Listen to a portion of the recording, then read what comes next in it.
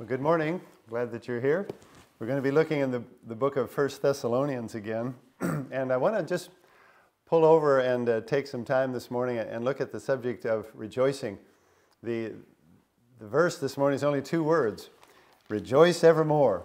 1 Thessalonians 5, verse 16. Rejoice evermore.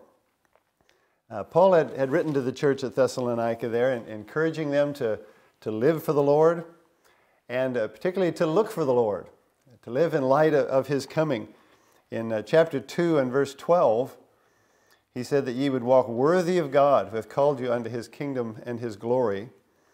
And then down in uh, chapter 3 and verse 12, the Lord make you to increase and abound in love one toward another, and toward all men, even as we do toward you. And here's the reason to the end he may establish your hearts unblameable in holiness before God even our Father, at the coming of our Lord Jesus Christ with all his saints. Uh, looking for Jesus uh, should motivate us to, to live for him. And as well, he wanted them to know they were not experiencing the day of the Lord.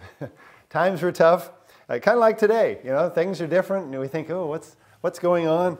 Uh, well, we'll know uh, when Jesus comes, and Jesus is coming. In chapter 5 and um, verse verse 2, he had, he had told them to be looking for the Lord. Says, Yourselves know perfectly that the day of the Lord so cometh as a thief in the night. For when they shall say peace and safety, then sudden destruction cometh upon them as travail upon a woman with child, and they shall not escape. But ye, brethren, are not in darkness, that that day should overtake you as a thief. We're not going to be surprised that Jesus is coming. We don't know the hour, we don't know the day, uh, but we're children of the light. And uh, God has, has told us that He's coming. In verse 9, He says, God hath not appointed us to wrath, but to obtain salvation by our Lord Jesus Christ, who died for us, that whether we wake or sleep, we should live together with Him. And then He comes in verse 11 to the word wherefore. Uh, wherefore. You know, because Jesus is coming again, comfort yourselves together and edify one another even as also ye do. Uh, we've, we've looked at this. That God tells us as Christians to, uh, to encourage each other, comfort each other, uh, to edify each other. And, and, He uses words that are collective, um, together, uh, one another. Uh, this, this is such an important part of our Christian life is, is our church and the, the partnership and the leadership that we have. Uh, this book was written to a church in chapter 1, verse 1, to the church of the Thessalonians. And uh, it's written to our church. As a church, we need to be uh, encouraging each other, uh, building each other up. And we, uh, we started last week looking at three things, at least, here at the end of this book that he talks about that will help our church. Uh, one, verses 12 and 13, is, is leadership. We beseech you, brethren, to know them which labor among you and are over you in the Lord and admonish you and to esteem them very highly in love for their work's sake, and be at peace among yourselves. He also talks about partnership, and we work together. Now we exhort you, brethren, 14, uh, warn them that are unruly, comfort the feeble minded, support the weak, be patient toward all men. See that none render evil for evil unto any man, but ever follow that which is good, both among yourselves and to all men. And then we see that God uh, uses us to, to worship together. He says that, that that's one of the key things that will help us to do what's right together. And uh, that's the last part here. And he starts with rejoice evermore, pray without ceasing. In everything give thanks, for this is the will of God in Christ Jesus concerning you. Quench not the spirit, despise not prophesyings, prove all things, hold fast that which is good abstain from all appearance of evil, and the very God of peace sanctify you wholly. And I pray, God, your whole spirit and soul and body be preserved blameless unto the coming of our Lord Jesus Christ. And I think in, all of this, verse 16 is such a pivotal and, and key truth. Rejoice evermore. Know, his message to them was not only don't be afraid, but rejoice. More than just not doing the negative, do the positive. Uh, rejoice in the Lord. Uh, I, I, think it's a key characteristic of a healthy church is that it's people who are re- rejoicing in the Lord. And we have so much to rejoice about. We have so much to rejoice in. And the question I want you to consider this morning is what would stop you from rejoicing? What would stop you? Uh, now, this doesn't mean that we'll never experience trouble or sorrow. Uh, we do. Uh, it does mean that in our distress, we have hope. Like he says in Romans 15, now the God of hope fill you with all joy and peace in believing, that you may abound in hope through the power of the Holy Ghost. Uh, turn, if you would, to Romans chapter 12. Let's look at a, a few verses there. Romans chapter 12 and verse 12. And I want you to see that in our rejoicing, we are often in distress and need. Many of the things he talks about here are areas of difficulty.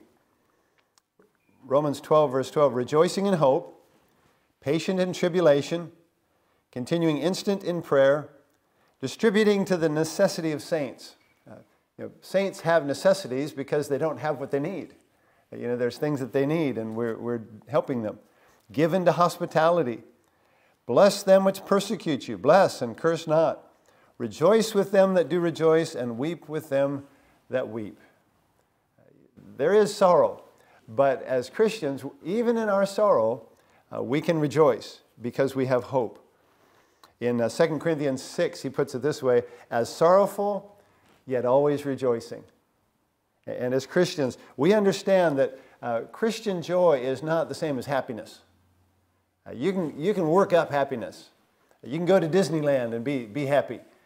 Uh, it, it's like David in uh, 1 Samuel 30. You remember when they'd gone through such a distressing time? They'd been at, at war and they came back, and all the women and children had been taken captive, and and taken away and all their goods. And uh, the men were so distressed. The Bible says David encouraged himself in the Lord. David had learned to rejoice in the Lord. Even in that difficulty, uh, he turned to the Lord because he knew there, that's where their hope was. Someone has defined Christian joy as the emotion springing from deep down confidence that God is in perfect control. Uh, I think that's a pretty good definition. Christian joy let me give you three things about Christian joy. Uh, number one, it is commanded.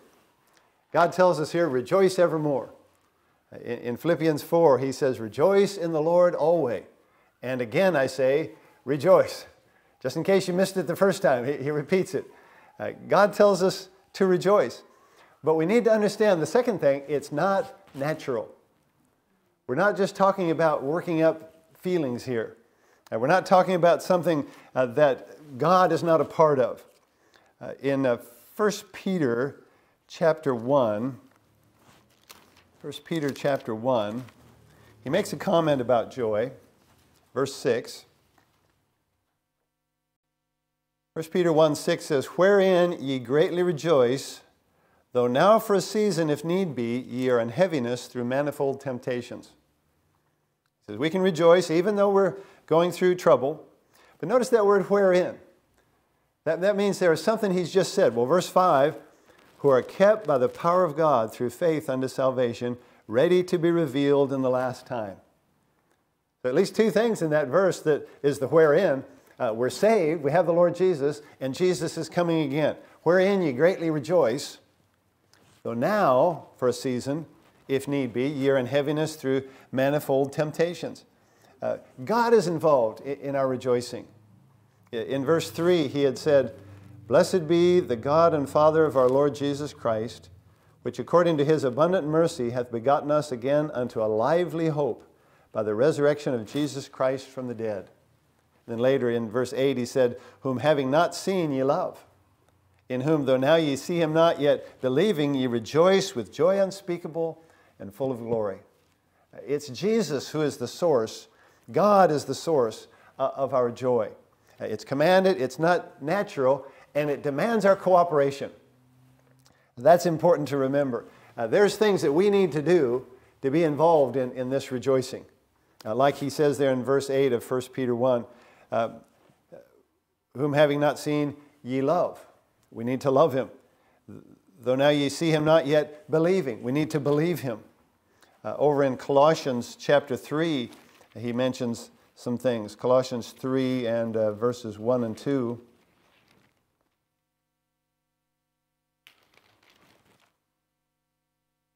If ye then be risen with Christ, he's just saying, if you're saved, seek those things which are above. That, that's part of rejoicing in the Lord. We're going to have to seek those things which are above, where Christ sitteth on the right hand of God. Set your affection on things above, not on things on the earth. We're going to have to uh, direct our affections. Uh, that's our part. Uh, it demands our cooperation. And uh, we can rejoice in the Lord. God has made it, it possible. I want to take two, uh, two questions why rejoice and why not rejoice? And I want to give you six things about each. Six things. Um, you, you could probably have a hundred about each, but we, we won't do that this morning. Um, number one, why rejoice is in 1 Thessalonians chapter 5 and, and verse 24. We rejoice to appreciate the character of God. 1 Thessalonians 5.24 says, Faithful is he that calleth you, who also will do it. We, we rejoice because God is faithful. We can trust him. He has a purpose. He has a plan. Uh, Romans 8.28, we know that all things work together for good to them that love God, to them that are called according to his purpose. In uh, Psalm 28, he says, uh, just read it out for you, The Lord is my strength and my shield. My heart trusteth in him, and I am helped. Therefore, my heart greatly rejoiceth, and with my song will I praise him. Because God is strong, because God is faithful, uh, we rejoice. Isaiah wrote in Isaiah 61 I will greatly rejoice in the Lord. My soul shall be joyful in my God, for he hath clothed me with the garments of salvation, he hath covered me with the robe of righteousness. We're depending on God for our salvation. Uh, we can trust him. Uh, we rejoice because his character is unchanging and uh, we know that he will, he will do what he said. We rejoice, secondly, to appreciate the work of Christ. In uh, Luke chapter 2, when uh, Jesus was about to be born, the angel said, Fear not, for behold, I bring you good tidings of great joy. Even just his coming uh, was a, a great point of, of rejoicing. In John chapter 15, Jesus said, These things have I spoken unto you that my joy might remain in you and that your joy might be full.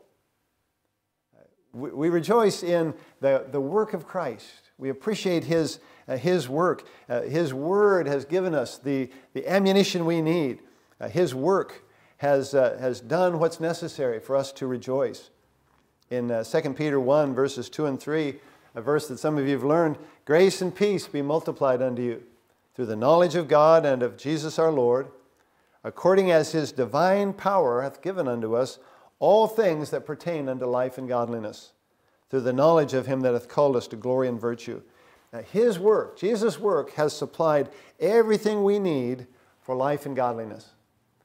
Man, that's, that's something to rejoice in. We rejoice in the character of God, we rejoice in uh, the work of Christ. Uh, our riches are in Jesus. Thirdly, we uh, rejoice to appreciate the ministry of the Holy Spirit.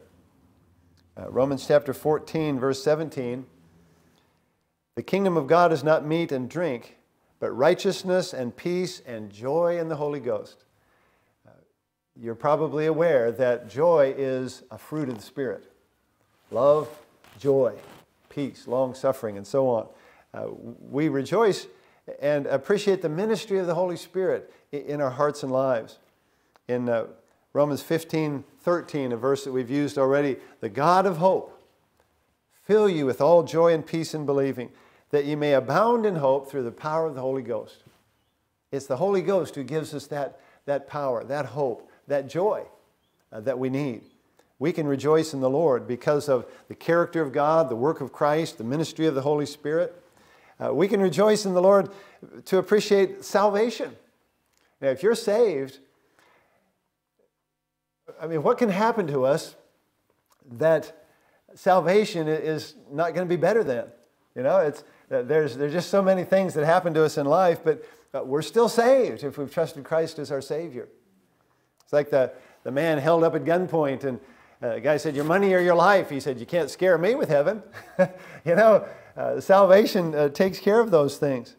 In uh, 1 Thessalonians 5 and Verse 9, he says, God hath not appointed us to wrath, but to obtain salvation. Saved. In uh, 1 Thessalonians 4, verse 17 and 18, we've looked how uh, that we're going to be caught up, that we're going to be together with them in the clouds and meet the Lord in the air and ever be with the Lord. And he says, Wherefore comfort one another with these words. Yeah, salvation. Uh, there's coming a time when that will be face to face with Christ our Savior. You know, now we look in the, in the book and we believe. That's where our faith is. But then it'll be face to face. We rejoice in that. In uh, 2 Timothy 1.12, someone has written a song to this, and uh, what a blessing. Uh, I know whom I have believed, and am persuaded that he is able to keep that which I've committed unto him against that day. You know, no matter what happens to us, uh, we have our hope and trust in the Lord, and we rejoice in him because of salvation and our, our future in him. We rejoice in him to appreciate the Bible. 1 Thessalonians 5 4, we read, uh, We're not in darkness that that day should overtake you as a thief. You know, as Christians, we read God's Word, God's Holy Spirit helps us uh, with His Word, and we have an understanding of the times. We have an understanding of what's gone before and what's coming after. You know, you see such foolishness being spouted about millions of years and this and that. Uh, listen, uh, God has created time and God will end time. And uh, we, we appreciate God's word. We're not in ignorance of these things. 1 Peter 4 and, uh, and verse 12 Beloved, think it not strange concerning the fiery trial which is to try you, as though some strange thing happened unto you. But rejoice, inasmuch as ye are partakers of Christ's suffering, that when his glory shall be revealed, ye may be glad also with exceeding joy. Now we know that because of God's word. We can rejoice. Uh, even though we go through difficult times, Jesus is coming again. And you know, th- this uh, situation we're going through now, it's caused a lot of Christians to think, maybe it's soon. maybe it's soon. and that's exciting. Well, uh, one more. Uh, we rejoice to appreciate Christian fellowship. You know, it's a, it's a blessing to have brothers and sisters in Christ uh, to encourage us, uh, sometimes to rebuke us, sometimes to, to work things out with. Uh, 1 Thessalonians chapter 5 and uh, verse 16, when he says, Rejoice evermore, uh, that's part of this uh, comforting yourselves together and edifying one another that he talked about in, in verse 11.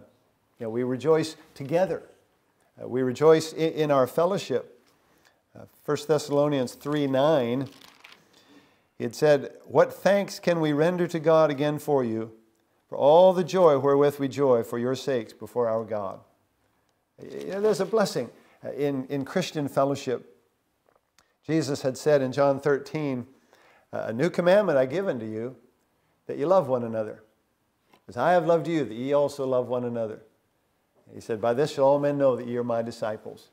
God's not just called us as individuals, He's called us as individuals together and given us uh, the, the joy of, of Christian fellowship. Uh, let me ask you, are you grateful for these things? Uh, later on, uh, the, the Bible says, uh, later on in my notes, I was going to say in Psalm 103, he says, Bless the Lord, O my soul, and forget not all his benefits. we need to be careful we don't forget these things. Sometimes we get so focused on the difficulties of life, we forget the character of God. Uh, we forget uh, the result of our salvation, you know, the work of Christ, the ministry of the Holy Spirit you know, through those times, uh, the Bible and, and Christian fellowship. God, God has blessed us in so many ways. Uh, we should rejoice. What would stop you from rejoicing? Well, there are some things that uh, hinder us, that's for sure. And I think one that, that comes, and uh, be careful with this, but sometimes people don't rejoice because they're not really saved. You know, there's, there's people who are religious and, and they know all the words and, and, maybe they go to all the meetings and so on. Uh, but they're like what Jesus talked about when he said uh, the seed fell in stony places in Matthew chapter 13. And, and there's, a, there's an immediate growth, but then it, when trouble comes, it, it dies. Uh, and, and he said the reason was there's no root. You know, there's people who have a, form of godliness, but they don't know the power. They, they deny the power thereof. Uh, a false salvation. They're not born again, and as a result, the Holy Spirit is not in their life to help them. Everything they do has to be natural. Uh, they don't respond like a Christian. Now, if you feel like you fit into that category, man, you, you need to sort that out. You need to have assurance of, of your salvation. Uh, you need to know the Lord. But you know, as Christians, uh, there are, are plenty of hindrances that come along. Do you know Satan wants to hinder us from having joy? He doesn't want you to enjoy your Christianity. Uh, 1 Peter 5 talks about be sober, be vigilant, because your adversary, the devil, as a roaring lion walketh about seeking whom he may devour, whom resist steadfast in the faith. Listen, Satan roars. Most of what Satan does is just noise, but it scares us. And we, we quit rejoicing in the Lord because we're, we're living by fear. God says, He's not given us a spirit of fear, but of power and of love and of a sound mind. God says, resist Satan in the faith, steadfast in the faith. And it says he'll, he'll flee from you. Uh, Satan wants to steal your, your joy. Uh, ignorance will steal your joy. Uh, many times people don't rejoice because they just don't know what God has said. 1 John 1 4, he says, These things write we unto you, that your joy may be full. The more you know God's word, the more opportunity you'll have to be rejoicing. I was just reading uh, the book of Isaiah. Sometime take the opportunity just to read to yourself out loud. And, and it's quite an interesting experience to hear yourself read, read the scriptures. Read the first five chapters of, of Isaiah. If it doesn't move your heart, there, there's something, something wrong there. Uh, listen, God's word will help you to rejoice. Uh, ignorance will steal your joy. God's word is the foundation for our joy. In John 8, Jesus said, If ye continue in my word, then are ye my disciples indeed. And ye shall know the truth, and the truth shall make you free. God doesn't want you to live in fear, He wants you to rejoice. Unbelief will steal your joy. Jeremiah said, Thy word was unto me the joy and rejoicing of mine heart. He, he understood, uh, you know, not only knowing but believing God's word, acting upon God's word. That, that's where joy comes from. You know, doubt destroys joy. It, uh, unbelief is different than ignorance. You know, sometimes we just don't know what God has said. Well, there's a cure for that. Get in there and find out. But then sometimes we know what God has said and we just choose not to believe it. Uh, God calls that hardness of heart, and He calls that an evil heart of unbelief. Man, that's pretty serious. That means it's a sin problem. And uh, God deals with that. We can take care of that. It doesn't take a long process. If we confess our sins, He's faithful and just to forgive us our sins. Uh, sin will keep you from enjoying your Savior and your Christianity. Unbelief, doubt destroys joy. Uh, where am I? Fifth one ingratitude. If you're not thankful for what you have, you're not going to rejoice. And if you'll get into God's Word and see what you have in the Lord, man, what a blessing. Uh, you remember, was it, was it Paul and Silas that in, in prison they sang? you know, that was not a nice situation, but they had the joy of the Lord because they were rejoicing. Uh, they were grateful for what God had done for them. There's a verse, 2 Timothy 3 and verse 2. It's where he's talking about this know and in the last days perilous times shall come. Verse 2 says, Men shall be lovers of their own selves. And one of the uh, things that happens is they'll be unthankful. Men shall be lovers of their own selves, covetous, boasters, proud, blasphemers, disobedient to parents, unthankful. And he, and he, and he goes on. And part of ingratitude is we just love ourselves too much. You know, we're so concerned about self that we're not grateful for what God, or even many times what others have done for us. You know, you can never do enough for an ungrateful person. It'll never be enough. And if that's you, that needs to change. You're a Christian, you need to be able to rejoice in the Lord. Uh, God has given us that command. He said, This is not natural. This is not something where you can have enough of something and then you'll be happy. this is not something where you can go someplace and then you'll be happy. Uh, where you are and what, with what you have, you need to be rejoicing in the Lord. Ingratitude will steal your joy. Start by thanking Him for what you have. And let me tell you, you can go a long time listing all the good things that God has done for you. Uh, the last one I'll mention is false expectations. False expectations will steal your joy. A lot of the problems we have in life are what we expect. You know, we, we get married and we expect something. We get a job and we expect something to happen. Uh, it's our expectations that, that cause us problems. And it's the same with the Christian life. In uh, John 16 33, Jesus said, These things I've spoken unto you, that in me you might have peace.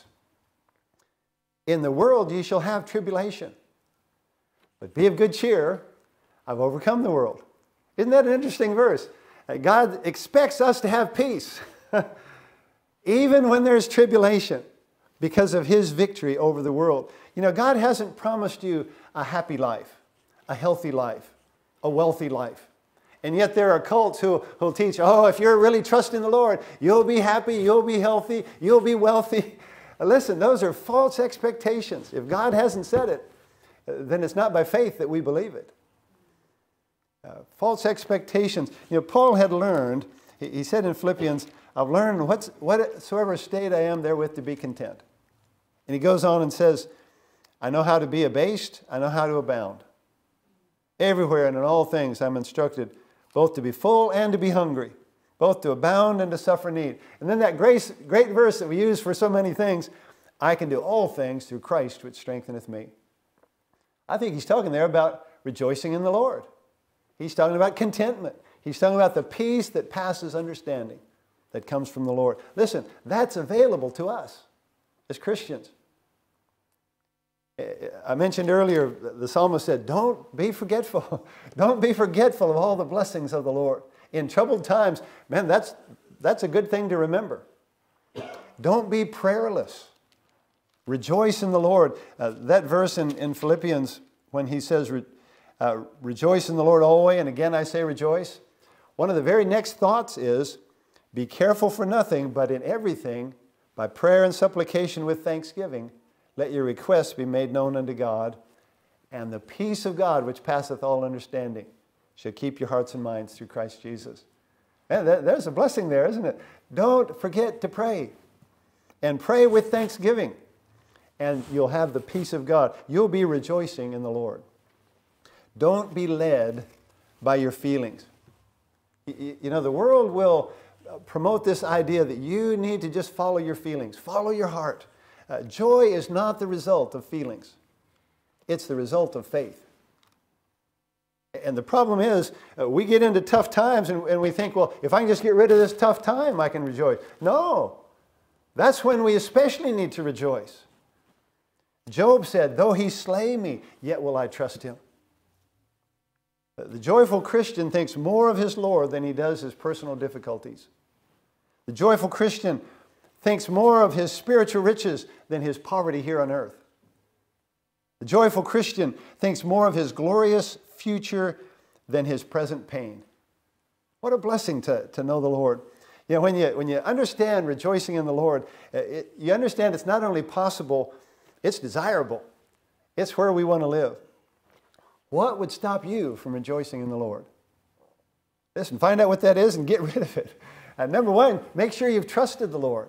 Are you saved? Uh, Romans 3.23 says, all have sinned and come short of the glory of God. Uh, God says that each one of us is a sinner who needs a Savior. Will you trust Him in that? Will you rejoice in the Lord that you're a sinner? Uh, he says that He's the only Savior. Romans 6:23, the wages of sin is death, but the gift of God is eternal life through Jesus Christ our Lord. Acts 4:12 says, "Neither is there salvation in any other." He's the only Savior. Uh, will you trust Him in that? See, it's not your feelings that will save you.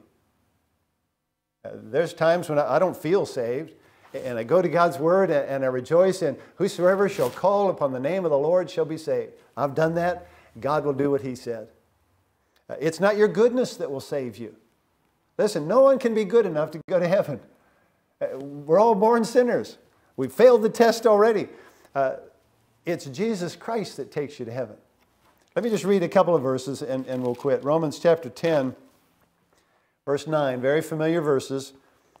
That if thou shalt confess with thy mouth the Lord Jesus and shalt believe in thine heart that God hath raised him from the dead, thou shalt be saved. For with the heart man believeth unto righteousness, and with the mouth confession is made unto salvation.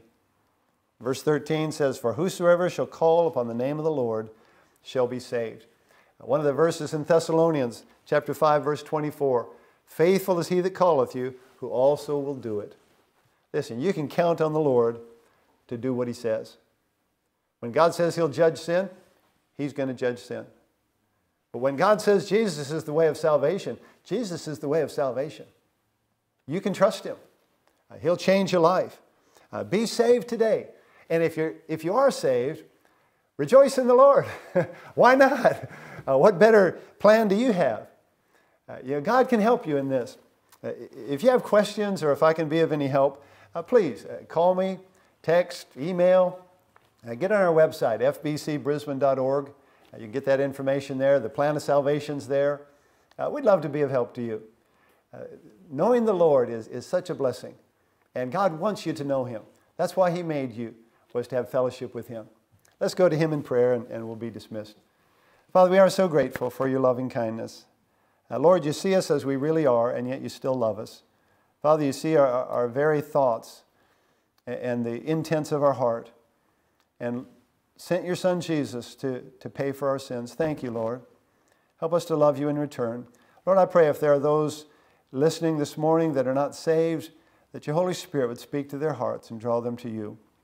Help us as a church to rejoice. Help us to be a rejoicing people. And Lord, that people would see and want to know our Savior. We pray these things in Jesus' name. Amen. Amen. God bless you.